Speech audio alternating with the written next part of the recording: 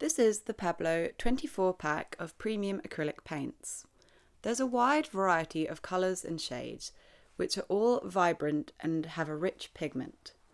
Comparing a standard size acrylic paint to the Pablo, you will see that with the 22 milliliters you get a lot more paint.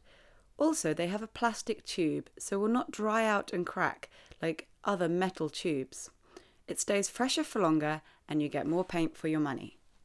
The high quality ensures the paint will last and will not fade over time.